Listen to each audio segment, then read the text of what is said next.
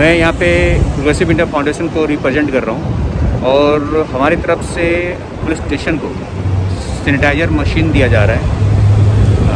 आइए हम उनसे बात करते हैं। प्रोग्रेसिव फाउंडेशन की तरफ़ से हमें अभी जो पंप मिल गया है सैनिटाइजर डिसइंफेक्शन के लिए इसके लिए मैं आपको बहुत शुक्रिया अदा करता हूँ। मैं परिवहन ट्रैफ़िक की ओर से आपको धन्यवाद करता व्यक्त करता हूँ और ऐसे ही हमको आप मदद करते रहिए और सहकार्य करते रहिए, ऐसे में आपसे